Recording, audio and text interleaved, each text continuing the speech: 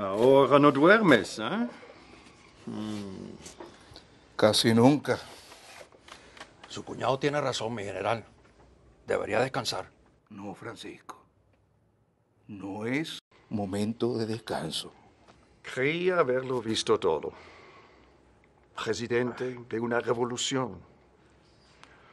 Un oportunista que negociaba acuerdos con la dictadura oligarca. General, un político. Un político que solo sabe hacer retiradas. La guerra es política. La política es guerra.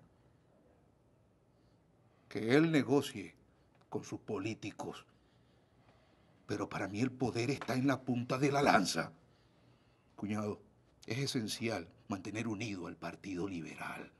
¿Para qué mantener unidos el aceite y el vinagre? Será para hacer una ensalada, ¿no?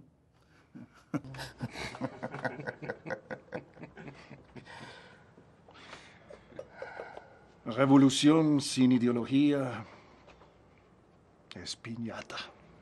Todos se arrodillan hasta que se acaban los caramelos.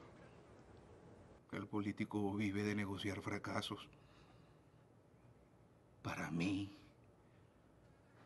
escúcheme bien, la única estrategia es el triunfo.